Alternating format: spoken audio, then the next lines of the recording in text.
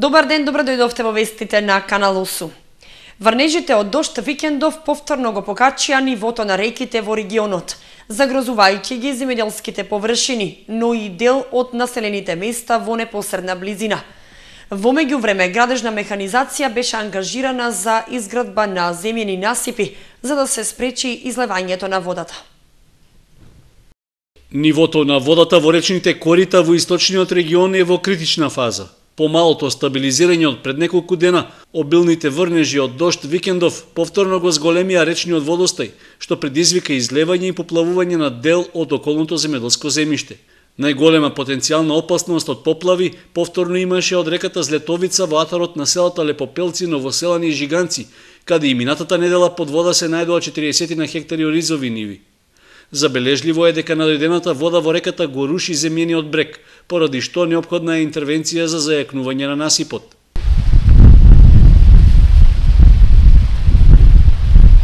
Високиот водостој на Злетовица ги алармираше и одговорните во општината Чешиново Облешево. Беше ангажирана градежна механизација за поставување насип од двете страни на реката за да се спречи излевањето во селото Жиганци. Од Дирекцијата за заштита и спасување информираа дека биле ангажирани две градежни машини за расчистување на коритото на реката, а на барање на локалната самуправа на Чешиново Облешево испратена била уште една машина.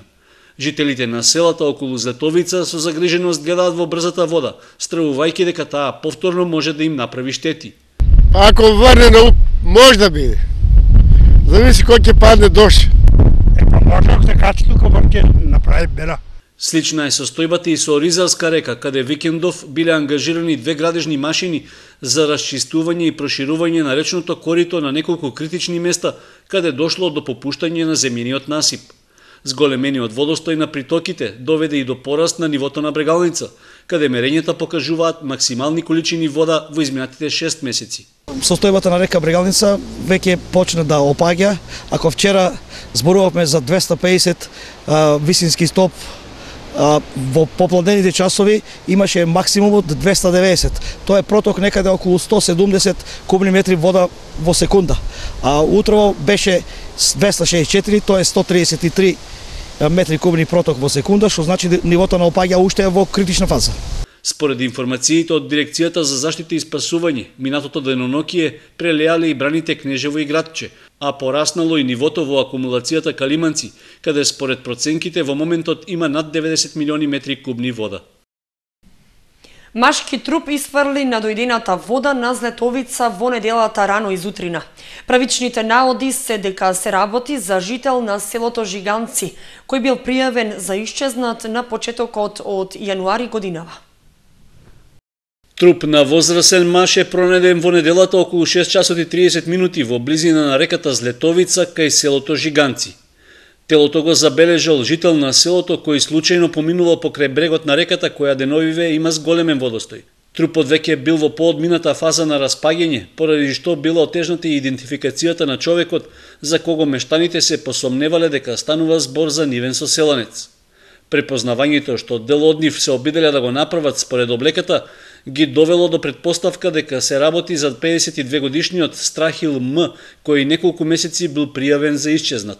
4 месеци од коледе на 6 јануар исчезна и дури вчера тука под мосто близо до реката. У тоа има едно долче каналче. Беше мирно момче ама алкохол си го направи својот Жители на Жиганци рекоа дека починатиот последен пат бил забележан за време на бадникарските обичаи, кога група селани палеле оган до доцна во вечерта, а потоа тој поднапиен останал да лежи на клупа. Нивниот соселанец не бил женет, порано работел како професор во Делчево, а потоа подолг период останал без работен ангажман. Увид на местото каде што е пронајдено телото направиле истражен судија и полициска екипа од кримтехника – пошто телото е предадено на обдукција заради утврдување на идентитетот и причината за смртта.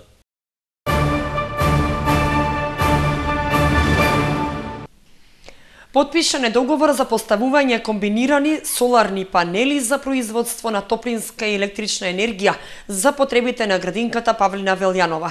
Тоа е прв таков проект во државата, а негов носител е локалната акциона група од Кочани.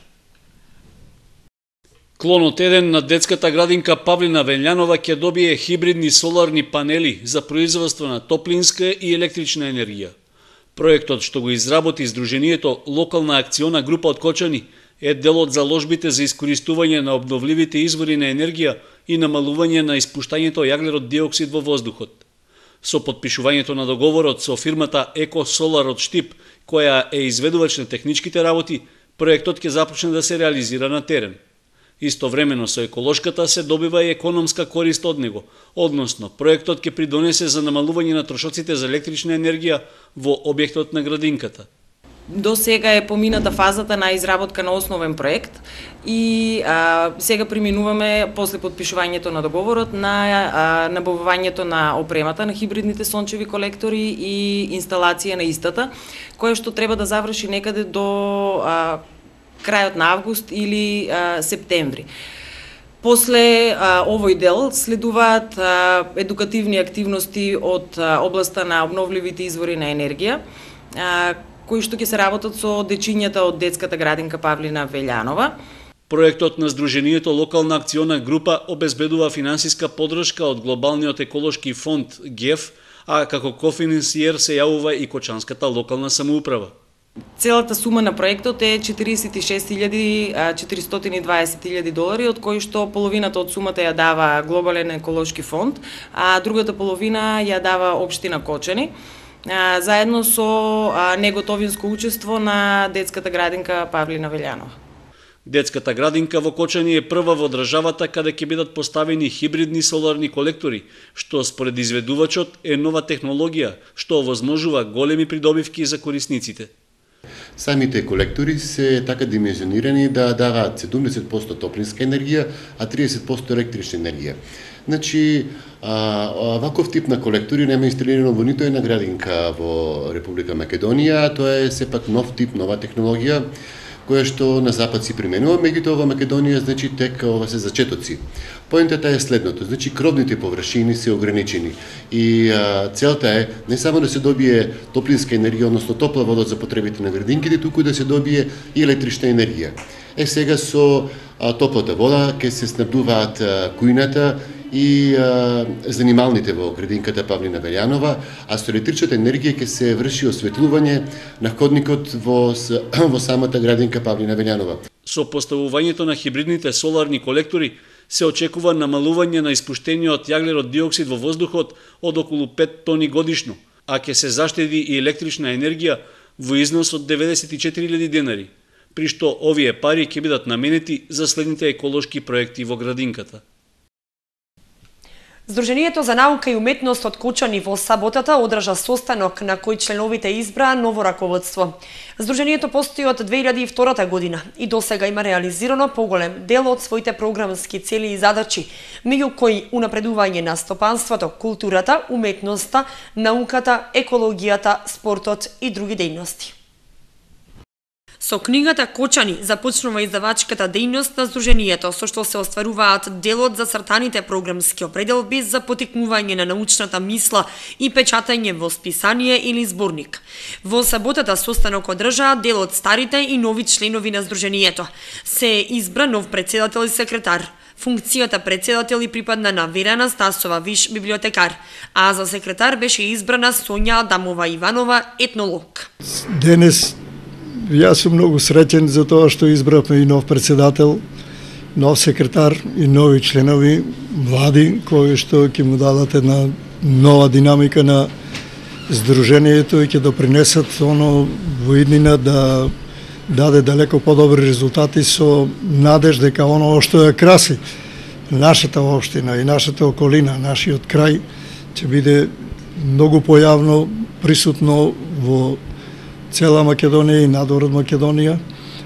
Па среќен сум да кажам дека денес за председател ја избравме Верка Атанасова, за секретар господјата Сонја Адамова и мислам дека тие со своите квалитети, своето знање, својот ентузијазам ќе допринесат друштвото да добие еден нов напредок, еден нов тласок со што и ќе дадеме сите допринос за афирмација на Кочани и целокупната Кочанска котлина, вклучувајќи ги околните општини. Здруженијето има членови од сите области – образование, здравство, култура, наука, уметност и новинарство.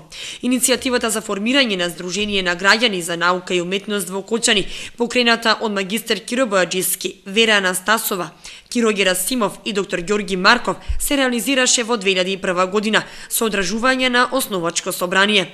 Од тогаш Дружението има организирано советување, семинари, курсеви и работилници за разни стопански, нестопански, комунални и други проблеми, курсеви за странски јазици, обуки, посети и патувања поврзани со својата дејност, изработка на проекти и програми за потребите на стопанството, екологијата, културата, науката, уметноста, археологијата, спортот. Организирање меѓународни и домашни работилници, физибилити програми, воспитување на млади кадри, потикнување на иноваторството, печатање и издавање списанија, билтени, публикации и книги од својата дејност.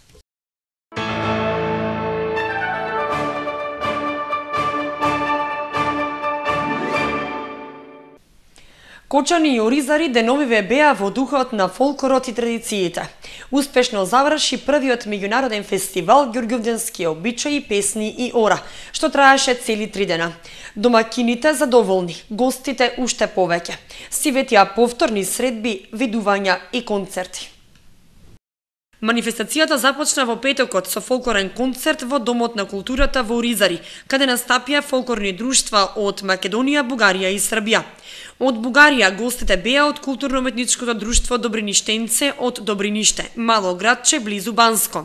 Од Србија културно-уметничко друштво Младост од Босилеград. Оризарци, фолклорниот ансамбл Љупчо Сантов и Кочанци, фолклорниот ансамбл Кочани, се покажа како добри домакини, зашто гостите не го криеја задоволството од убавиот причек и гостопримството. Во саботата манифестацијата продолжи со спортски игри во Оризари, каде играорците се надпреваруваа во влечење јаже, скокање во вреќа, играта јајце во лажичка и други игри преку кои учесниците на фестивалот играа и заеднички се дружеа и забавуваа. Вечерта се одржа фолклорен концерт во Центарот за култура Бели Мугри во Кочани. Настапија и гостите и домакините, а на саботниот концерт се придружија и фолклористите од културно-метничкото друштво Јане Сандански од Пехчево. Целта на фестивалот е да се сочуваат народните обичаи, песни и ора поврзани со верскиот празник Ѓурѓовден, кои традиционално се одржуваат секоја година. На состанок на кој присуствуваа по неколку представници од сите фолклорни друштва учесници, тие се представија и кажаа по неколку зборови за себе. Ми најнапред да благодаря Најпрво да се заблагодарам на домакините за нивното гостопримство. Организацијата е на високо ниво. Нашето друштво од Добриниште, општина Банско, постои веќе 5 години. Имаме играорци од 8 до 60 години. Го работиме нашиот пирински фолклор. Наш состав се состои од 15 чланова. Ние сме релативно младо друштво. Постоиме само две години. Имаме три групи и работиме со мала и возрастна група. Многу сме задоволни од домакините и од убавиот пречек. Многу убаво поминуваме во Македонија. Ке ве очекуваме и вие да дојдете кај нас. Четврток до шесток разред. Почели смо да радиме од 2013 година, почетком 2013 година, што до данас годину Во неделата во Домот на културата во Оризари се одржа уште еден концерт на народни песни, игри и ора, на кој настапија сите гости и домашните ансамбли и им се придружија и пензионерите од Кочани. За цело време како увертира на концертите беа дефилијата низ градот и населбата Оризари, преку кои граѓаните можеа да уживаат во преубавите носи и играурци кои дефилираа низ градот. Јас сум Адријана Трајчева Јас сум Адријана Андреева, имам 17 години и сум од фолклорниот ансамбл Добриништенце од Добриниште, Република Бугарија. Танцувам веќе 6 години, а во Македонија си поминавме супер. Прекарваме си страхотно. Аз сум согласна Прекрасно е. Во Македонија е многу убаво. Затековме и убаво време. Се чувствуваме како да сме дома. Многу сме ви благодарни на гостопримството и ве очекуваме и вие да дојдете кај нас. Ќе се представиме шопски Вечерва се представивме со шопски и босилеградски игри. Нашиот сустав постои од 2009 година. Од 2009 година. Наша носија е традиционална. Нашата носија е традиционална и се состои од шамија, фута, појас, кошула и опинци. во Македонија си поминуваме многу убаво. Како ви се допаѓа тука во Колчани, во Македонија? Многу лепо. На крајот од фестивалот, домакините, фолклорниот ансамбл Љупчо Сантов од Оризари и местната заедница им доделија благодарници за учество и на домашните и на странските ансамбли, советување дека ваквите фестивали ќе се одржуваат и понатаму, со уште позбогатена програма и проширување на гостите од други држави. За време на манифестацијата покрај песните и ората не беа изоставени и традиционалните ѓурѓовденски обичаи, пошто го носи името и самиот фестивал. Се сукаа 30 зелници, неколку боденици, се биеше млеко, се правеше матеница. 30 зелници сукани од рацете на жените од Оризари, буденици, но и вкусна матеница – Гостите рекоа дека вакви сукани и традиционални јадења досега не пробале во животот. За да биде уште поинтересно и автентично, жените кои сукаа беа облечени во народни носи. На секоја на секоја година на Ѓурѓовден правиме овај обичај и оваа е главната погача, ова се вика овчарска погача. На времето секој овчар морало е оваа погача да носи у торбата. Тоа е составено од а, брашно, шекер, зајтин, и е направено овоа котаро на стоката, на овците. Овоа е овчар, овчички и јагненца. И се ставени во котаро за да бидат цела година стоката у купче, да не им се делат, да не им бегат. Овоа се зелниците, во секоја куќа традиционално а, тор, овча, Погачата се носи во торбата, а зелникот се прави за дома, сите се собираат и а, за Ѓурѓуден обично мора да има и ваков зелник. Цеја се брашното, со водичка се замесе, квасет се стае, замесе, а, искине се на топчиња, потоа се сук, шом се расука.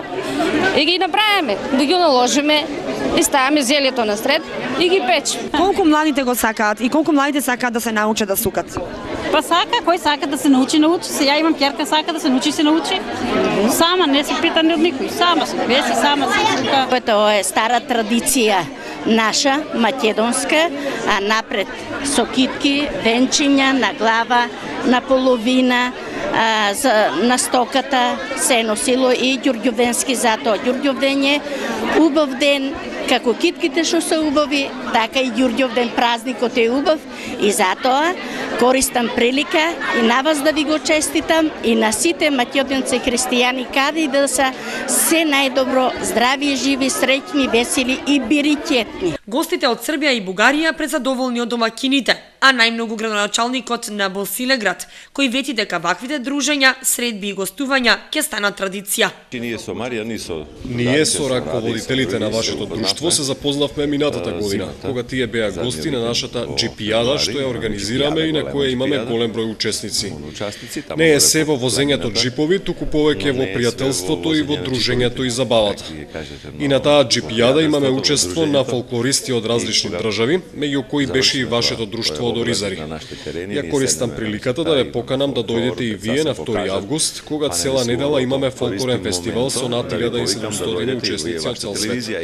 Се уште не сме го пробале кочанскиот ориз, но доста интересно ни е да гледаме како се сее оризот и помалку е чудно како домакините не пропаднат длабоко во земјата додека го сеат. Заедничкото дружење на фолклористите од Македонија, Србија и Бугарија заврши во неделата, кога со силни впечатоци и задоволни заминаа дома, советување за повторна средба. Заедничко чествување на се што е македонско. Три дена се славеше традиционалниот Мактеон, овој пат заради врнежливото време на променета локација на Дабот во село Бели. Овогодишниот Мактеон започна во петокот, кога се одржа рок хепенинг на летната сцена на Центарот за култура Бели Мугри, на кој учествуваа повеќе бендови од земјава. Беше доделена гитара на најмладиот надежен гитарист. Во саботата во Центарот за култура Бели Мугри настапија фолклористи од Кочани, Прилеп и Македонска каменица. Главното случување се организираше во неделата на Дабот во село Бели. Иако манифестацијата беше планирана да се одржи на локалитетот Горно Градче, на полјаната наречена Сончево гумно, заради временските услови беше сменета. Се одржа на Дабот во село Бели. Голем број луѓе присуствуваа на свеченоста. Ете, ова е мојата снага што ми ја давате да обстанам, зашто веруете папсав. Веројатно секој ден со стотици луѓе разговарав, грлото го изгубив, али Господ Севишниот дојде, не освети, ни даде снага и сега со вас наздравувам. Вака се освојува светот со свест и љубов, а не со деструкција и зло зашто мене ми остана ништо друго освен љубовта. Затоа со неа ве обсипувам, ве обдарувам чеда на спасот на светот. Амин. Се се одвиваше според програмата. Се одржаа спортските надпревари на фалангата со фрлање копја, камен, скокање и други дисциплини. Аудиовизуелна илустрација составена од сплет на народни ора, песни и игри и символично палење на огнот на вечноста со рецитал. Поздрав со молитва кон светлината и кривање на македонското знаме со химната.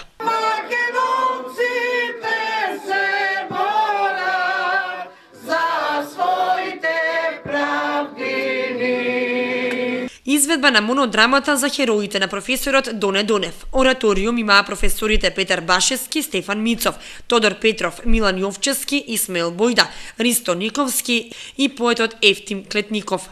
Свештеникот храмот Свети Великомаченик Ѓорги го освети и благослови соборот Мактеон. воскресе из мертвих, поправ, Исус во гробјек живот дарувам. Настап имаа културно-уметничките друштва од Прилеп, Македонска каменица, Кучани, Охрид и Штип.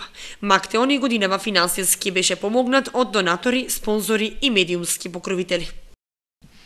Православните христијани на 6 мај го празнуваат празникот посветен на Свети Ѓорги Победоносец Ѓорѓовден. Тој ден е храмова слава на Кочанската црква. Со литургијата ке началствува митрополитот Брегалнички Иларион. Кочанскиот храм празнува на 6 мај Ѓурѓовден. Празникот е посветен на светецот што го носи неговото име, Свети Великомаченик Ѓорги. По тој повод на 5 мај, ден пред празникот, се служеше вечерна богослужба, а на самиот празник божествена литургија. Утре Светата православна црква го чествува споменот на светиот великомаченик Ѓорги Победоносец, кој што е и заштитник и патрон нели на Кочанскиот храм, кој што е посветен токму на него. Токму по тој повод, значи се отслужи свето света, односно се отслужи вечерно празнично богослужение, а утре со почеток во 7 часот ќе има празнична утрена, додека нели во 8 часот ќе почнеме со света Златоуста литургија на која што е најавено присуство и ќе чиноначалствува неговото високо преосвештенство митрополитот Бергалнички Иларион во сослужение со повеќе свештеници од Кочанското архиерейско наместништво. Е користам приликава, нели, бидејќи светиот великомаченик Ѓоргиј нас, наш молитвен застапник, да ги поканам сите верници нели, да присуствуваат на заедничката молитва, која што ќе биде упатена кон светителот. Ѓурѓовден се празнува на 6 мај. Тој се вбројува меѓу поголемите пролетни празници, што го празнува не само христијанското, туку и целото население во Македонија, што од друга страна значи дека во негова основа е празнувањето на природата и на вегетацијата. Како голем празник се поврзува со Великден, па и во народните песни се пее за нивната поврзаност и за разренувањето на вегетацијата. Со Ѓурѓовден се поврзани многу обичаи, пошто упатуваат и на сознанието дека Ѓурѓовден е сточарски земјоделски празник, а Свети Ѓорги е небесен клучар кој ги контролира небесните и земните природни појави, што влијаат да биде топло летото и да биде богат берикетот.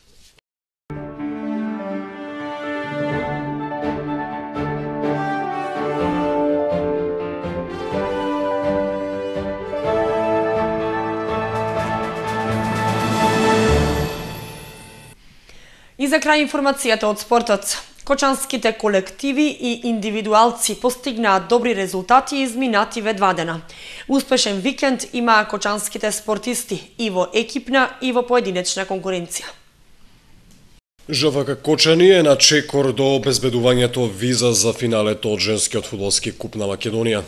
И пред првиот надпревар од двомечот, Кочанкија има фаворитската улога, што сега е поизразена по поволниот резултат за кој се изборија избраничките на Оливер Јовановски во Велес, каде го декласира домакинот борец со 0 спрема 8. Сезонскиот топ голгетер Салихи постигна 4 гола, Спировска 2, а Кокаловска и Миленковска фишаа по еден погодок. Реваншот се игра в недела во Кочани.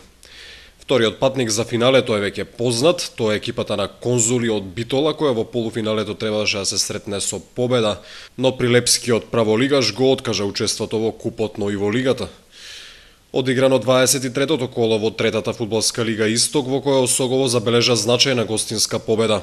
Здравие Радово, Осогово 0 спрема 1, Чешиново Баби 4 спрема 2, Слога 1934 Работник 3 спрема 1, Каменица Саса Карбинци 3 спрема 1, Брегалница Гола Крудар 6 спрема 0 и Тракања Јака 0 спрема 0 са резултатите од останатите надпревари. Надпреварот помеѓу Астибо и Беласица не беше одигран поради лоши услови за игра на теренот во Штип. Борачите на Спартак имаа достојно представување на државното правенство за јуниори. Правенството се одржа во Радовиш во спортската сала 25 мај во техничка организација на Федерацијата на боречки спортови на Македонија, а во соорганизација со боречкиот клуб Бучим од Радовиш. Правенството беше наменето за борачи родени 1994-та, 95-та, 96-та и 97-та година. На државното правенство се одржаа борби во 8 категории, 46 до 50 кг, 55, 60, 66, 74, 84, 96 и 120 кг. Боречкиот клуб Спартак во Радовишот патува со тројца борачи, Иван Јанев и Глигор Анев во категорија до 60 кг и Бојан Симеонов до 66 кг, предводени од тренерот Зоран Митев. Јанев го освои третото место, додека Анев и Симеонов беа четврто пласирани. На 24 мај Спартак ќе учествува на државното првенство во сениорска конкуренција. Во единствениот кошаркаски надпревар што се одигра викендов во Кочани, односно во спортската сала во основното училиште Никола Карев, Баскет Дино во рамки на М18 лигата го совлада Куманово со резултат 67 спрема 56. До крајот на сезоната остануваат да се одиграат уште две кола. Во предпоследното, кошаркарите на Сашко Лазаров гостуваат во Струмица против истоимената екипа.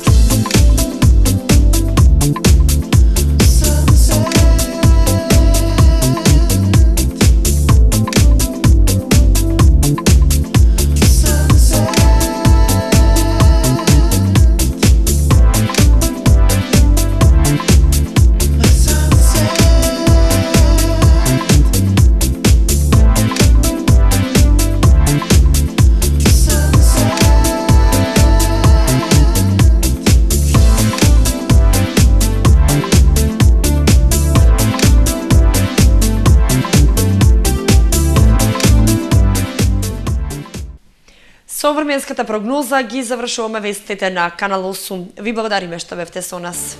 Довидување.